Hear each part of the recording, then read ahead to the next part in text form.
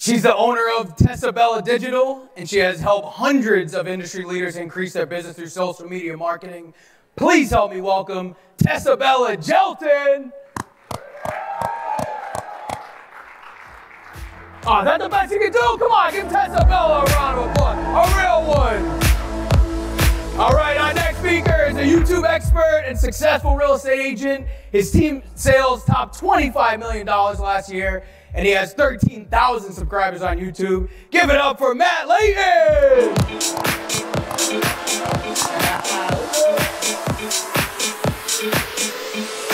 Next up, you've already heard from her. She's an expert agent and salesperson. She sells over 200 homes a year through referrals alone. Welcome back, Lana Rodriguez! Possibilities, I look like all you.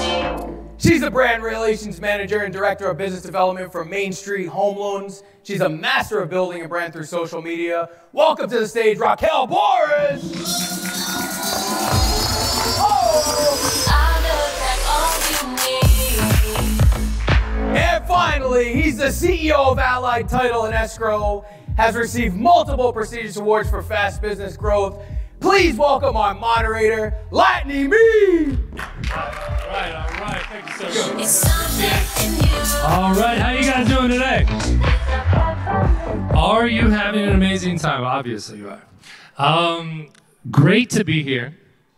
Don't worry about that. Thank you very much. Look at that. It's called teamwork, guys. That's what this panel's on. It's on teamwork. So, first of all, really excited to be here. Thank you for having me. Uh, look forward to learning some amazing things from them today. So, I'm just going to jump around. You've got some great social media influencers and multiple different social media verticals. So first off, Tessa, you've got an amazing story. She's only 23 years old. She started flipping 23 homes a year at age 18. Tell us how you started. You're 23 of all the success. Give us the story because I think a lot of people find it interesting. Thank you. Yeah. So I'm from Arizona. Um, I went to Arizona from Oregon to go to ASU. And I was 18 at the time, managing a little crazy coffee shop. And I had this idea. I was watching HGTV, which I loved, and um, Flip or Flop was like my favorite show that I had ever seen. I watched it religiously, and I loved the idea of flipping houses. So I'm kind of the person by nature that when there's something I want, I just go and do it. I don't care what hoop I have to jump through. My friends call me scrappy because I just like to get out there and I'm like, I'm going to make it happen. So I had this concept. I wanted to start flipping houses, and I did. I had a friend of mine who had some money from um, previous like business pursuits, and I was like, all right, this is my opportunity. I'm going to create this whole pitch deck and to pitch him this amazing idea. I didn't really know what I was doing, but I made it sound very convincing. I guess that was my start of my sales career was selling myself as this person that was going to be able to do this. So that's exactly what I did. And he was like, all right, let's take a chance. Let's do it.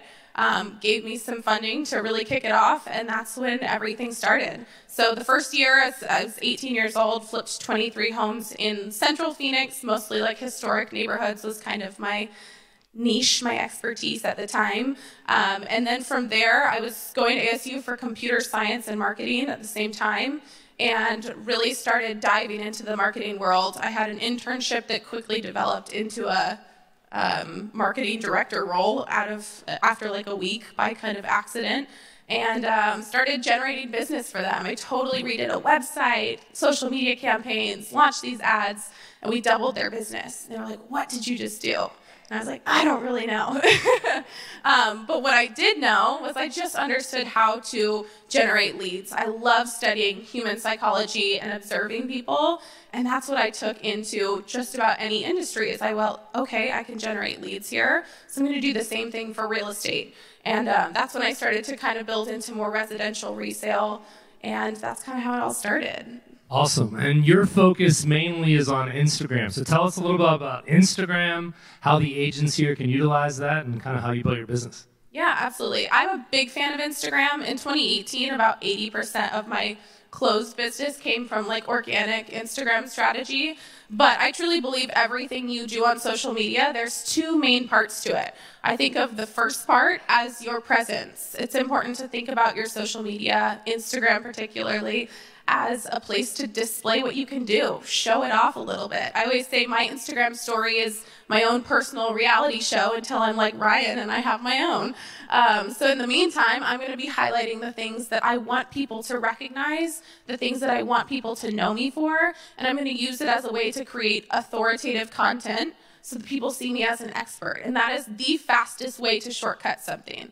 So one way that I really took that to heart was as a young person, a lot of the objections that I'd run into was that I didn't have as much experience or that I hadn't been in the industry as long as these other people. And I was like, well, I can't do anything about that. I can't speed up 40 years. So the only way that I could was to have this really amazing presence online where I shared a lot of value and I connected with people. I created this online community. So that was half of it. The second half is again that scrappy part. I brought that same energy into what I was doing on social media and I didn't just sit there like a sitting duck hoping for people to say, "Hey, I want to sell my house." I went out there and connected with people. You have this opportunity to connect and DM and message and send videos back and forth, like Craig was saying, with people on social media, and you can get extremely focused on who you want to work with. So, my big tip for using Instagram for your business is to really identify the people that you want to connect with come from a place of value, but then don't be afraid to ask for the connection. Put yourself out there and really put yourself in front of the people that you want to do business with or that you want to get referrals from. Awesome. Tessabella, two A's, right? Two A's on. If you want to follow her on Instagram, you can learn a lot. All right, we've got Matt here. I'm just going to come right down the line. So, Matt, successful agent in this area amazing follow, amazing videos on YouTube if you don't know about it. He was telling me a stat in the back about the length of video, which is probably pretty shocking. Matt, tell us about YouTube and the length of videos and what you've been do- up to. Yeah, absolutely, and you know, thanks again for uh, for having me here. And one of the reason we were talking about the length of video is because a lot of agents are like, well, my attention span isn't that long. Well, I don't I don't have 30 minutes to sit down and watch a video. So what I was saying in the back is I have a video, I have videos that are two minutes long. I have video that's $26,000 into the Wells accounts.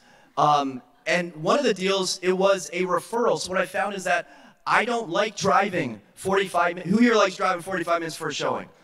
No one. Perfect. I don't like doing that. I want to leverage my time. So what I like doing is referring out deals and then having a check come in from a deal I didn't even know about uh, like three months later. So I think the biggest misconceptions, and people keep DMing me and say, hey, do you ever get any uh, leads from YouTube? Do you ever get any business from YouTube? And YouTube is essentially Google for video. It's like, hey, do you, do you ever get any leads from Google? Like the, the old Google machine? Of course. And what a fantastic way to brand yourself as an agent. So for me personally, those that know me, everything I do is Arlington, Virginia. It's all Arlington, Virginia, and it's all condo related. So if you find yourself doing deals in neighborhoods you don't prefer, price points you don't prefer, I think YouTube is a perfect way to tell the market who you are and what you specialize in. So if you're thinking maybe I should do video marketing, I don't know what to do it about, the biggest tip I have for you is choose the 10 biggest questions the 10 biggest problems that your clients have and answer those questions. And on another note, choose your top five favorite neighborhoods and do a video about those neighborhoods just walking through. You don't don't come up after after this and ask me what type of camera I use. Just just use your iPhone. It's not that hard. Do a video about Turnberry Tower or about um, your favorite neighborhood in DC, whatever has the highest price point. I think that's a fantastic way to get out in front of buyers that are potentially looking for that. Awesome, awesome. Uh, what's your uh, what's your um, what's the word up to find you? How do they find you? To find me very easily at the Matt Leighton. Um, search YouTube, Instagram. I'm on all those platforms. But I do, I, I, do like when I watch my favorite movie all the time is Braveheart. Um, and I remember watching that movie, being like, "Man, it's already over." And then I looked, and it was three hours long. So if you have great content, you can watch it forever. Yeah, people will watch if you hook them. Love it. All right. Next, we have Lana. She's dominated Facebook. Um, she was telling me some awesome stories about how she was new to the area that she went in and kind of how she built her personal page, but also her business page, and how she stalks people on Facebook. Tell us about that, please. Yeah, sure thing. So Brian and I we were brand new to the area, and I had a little Facebook profile, nothing, nothing, nothing special. And I had to identify very, very quick how I'm going to brand myself as a new agent in Colorado Springs area. Uh, there were 3,500 back then, licensed agents, and I created a brand new profile, personal profile. And what I started doing, I started simply adding people, anyone I meet, um, because believe it or not, five years ago I did not know what CRM is. I just got discovered about three three years ago. You know, client relations management systems. So Facebook for the longest time was my CRM. Anyone who I meet, instead of taking their business card, I was like, hey, let's connect on Facebook, and it was a very very easy way. Uh, once again, remember, I did not like to be sold, so when we become friends on Facebook, it's uh, nothing nothing behind it, right? So currently, I have 5,000 friends. I'm completely maxed out. So if I have to add anyone, um, I have to delete people. I have to scroll through. Now, people have that perception that Facebook is, oh, is this privacy account? I'm gonna have my family and have my pictures of my cats, just cat, cat subject. But no, absolutely not. None of us should see Facebook as a privacy platform. It's a lead generation marketing exposure platform. That's how we have to see it. Um, another thing, what I have learned that I do, I have created a private Facebook Facebook group for my clients only, okay? And currently there are 750 active participants. And what it does for me, it gives me opportunity to directly market to my sphere, right? And once again, um, I don't know if you guys heard it before, I used to post a lot of real estate content, and some people just remove me because they don't want to see that, or they unfollow you, and then you're like on the bottom of their feed, right? So I really, really like pre present myself in a very organic way, and it works. It really works, guys. Um, tell us about the stalking. Stalking. Okay, so I, I have to admit, I stalk everyone. Well, not you guys, but I stalk my teammates. Okay, not like I'm paranoid, but I'm always sleep with one eye open, and I stalk my clients because most of my clients are very committed. But uh, once again, I have to double check what they're doing and Facebook has this great feature. It, you guys know what I'm talking about, right? Just, buyers are liars, and it's just it's just that it is what it is. So Facebook has this feature when you're a friend with somebody and they post something in one of the groups, and we're talking about yard sale groups. I wanna I wanna get back on that. Um, I get notified. This person posted something in a yard sale group. I immediately look up what they have posted. And for example, if it's a new client whose furnace just broke, I am the first one to find out. I'm the first one to reach out to the client or get on my buyer special. Hey, have you reached out to your client after the closing? Because look, their shit is broken. We need to follow up immediately, right? Um, so things like this, um, and it actually works very, very well. Now that's my little trick. My team does not know that I'm doing that. And also, uh, no, no, no, no, they're not here. Uh, and also, when somebody like remember that the, the Backstreet Boys concept, when I liked, they, everybody else seen, oh, Lana like this. So I just use these small little hacks to to kind of help me help me in day to day. I love it. Um, in terms of, you know, I get the question all the time: Should you create a personal page, a business page? Can you speak a little bit more about that? Do you have both? What do you do? Sure thing. So here's the thing: if we're gonna talk about Facebook business page, um, the way it is structured, the way the Facebook algorithm is, if you don't pay for the ads, okay, we're talking about not boosting ads, but strategic marketing ads, like your post is going to be on the bottom of the feed. It's just the way it works. Nothing personal. Facebook has to make money too, right? Where on a personal page, the engagement of a cute, popular post always going to go in the top of your feed and your friends' feeds, right? So if there's an like, announcement, for example, Brian and I, my husband and I, we did a funny uh, Christmas video. We uh, had a newborn baby, and our daughter was like not liking it. So I saw that. Actually, I saw the original on Instagram, and I just copied it, and we did it. And that particular page post got thousand likes on my Facebook and personal. Now I know for the fact if I would have posted it on my business page, I probably would have to pay like I don't know to get how much thousand likes, like probably a couple hundred bucks, right? So Facebook and Instagram are the only platforms that lets you organically post your content and do a free marketing. Like there is no limit. You can. There is a limit. As a matter of fact, if you're gonna start adding people, uh, Facebook is gonna block you. I've been blocked uh, or put in a Facebook jail. What do you call it? Uh, two times. So don't do that. Don't be super aggressive because I think you are not a human. Uh, but yeah. But one thing. Um, are we gonna come back to me because I want to share something? Go ahead, go ahead. Okay, all right. So this is this is a very interesting trick what I learned at the beginning of my career. I got my first listing and I was like, ah, great. What do I do now? Well, Colorado Springs is full of yard sale pages. Colorado Springs wives yard sale pages, Army wife yard sale pages. So I joined all these yard sale pages, and you have to designate one evening a week, and let's say maybe from five to seven. And what I did, I cross posted that listing of mine on all these pages. And we're not talking about the link, we're talking about like real pictures that it looks nice, and people can click through it. And that's how I actually got my first buyer from that particular post. It was an army wife that just PCS. PCS that means military relocated to Colorado Springs. She's like, "Hey, is this available?" I'm like, "Of course it is." She's like, "Can we go see it?" I was like, "Yeah." Um, sounded very exciting, and actually it worked. Uh, because a lot of real estate agents do not use this as a platform, but as long as you do it at a specific time when people are at home and at work and actually not thinking about work and prospecting on Facebook, it works. I mean, I think what's interesting about this is you get all these little tips, little hacks. They add up if you're willing to do them. All right, jumping over here. We've got Raquel here. Now, she came into this area working for Main Street and helped build their brand, and coincidentally also built her own personal brand. Tell us about how you kind of did that, what you did for the company and for yourself when you were building your brand. Um, so, before anything, can I get a show of hands of how many people are actually on LinkedIn and active? Okay, good. Because I think a lot of people um, don't realize the potential there is with LinkedIn. We're still kind of like in the infancy stages. So for me, um, I had started on LinkedIn, I think four or five years ago, and I just was super consistent.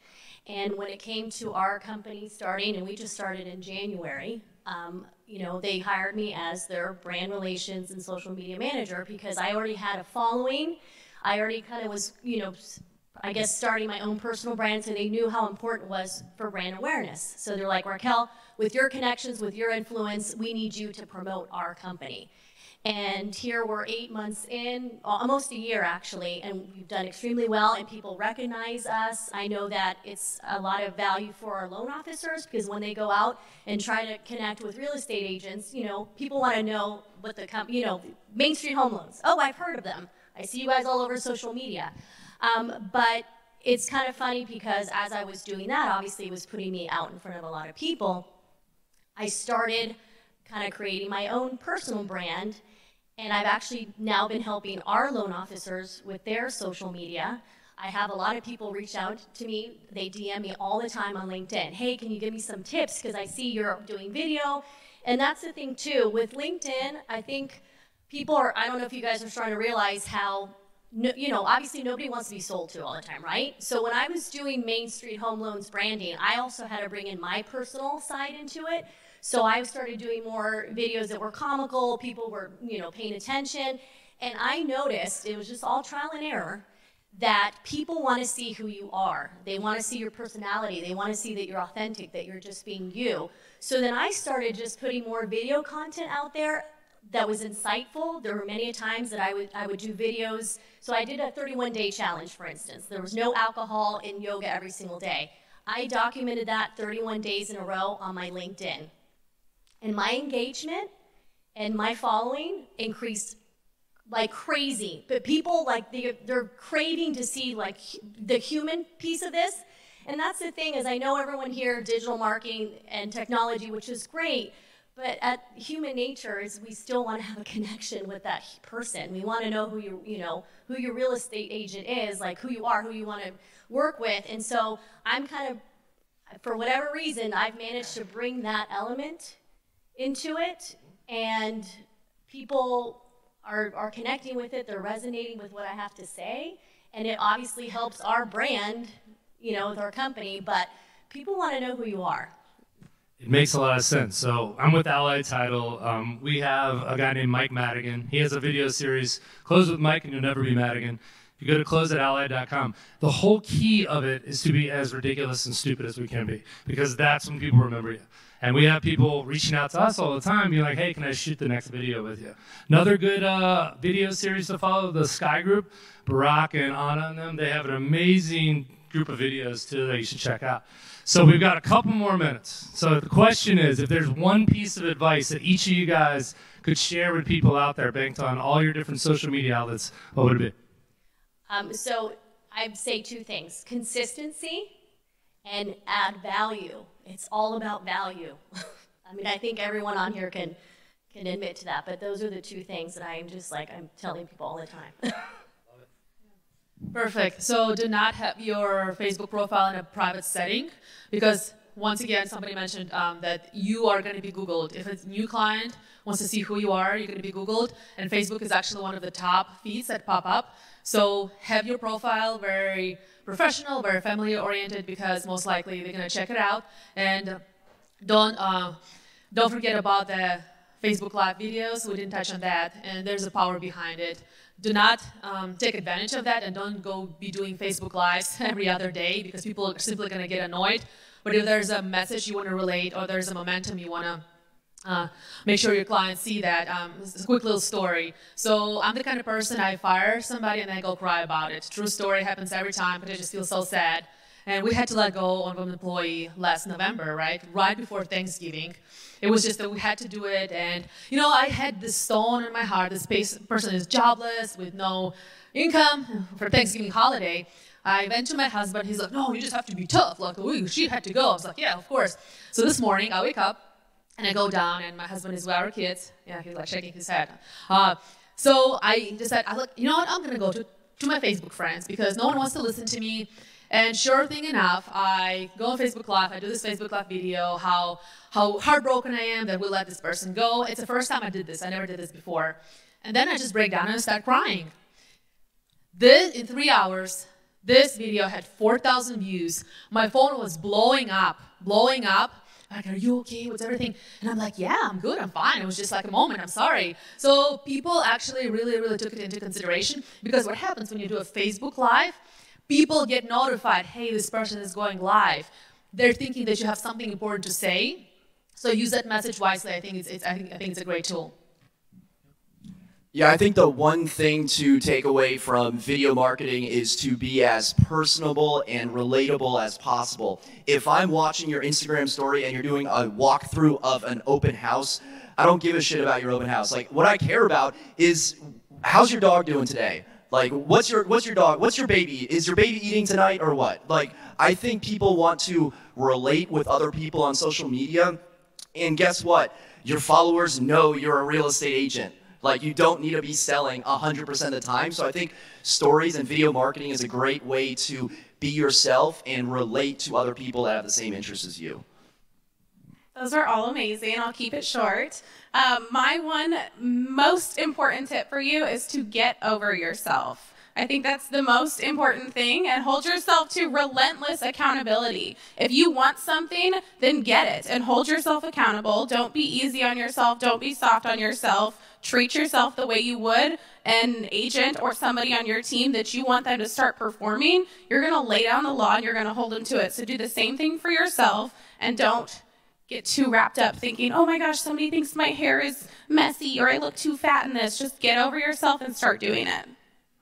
I love it. Well, thank you guys so much. Appreciate it. Thank you for tuning in to this episode of the HyperFast Show. Subscribe to us if you want to make sure you get the latest and greatest HyperFast shows. And remember, we love reviews. Reviews help us bring better and better guests and improve our shows. So give us the good, the bad, and the ugly. We hope you enjoyed the show, and we will see you next time.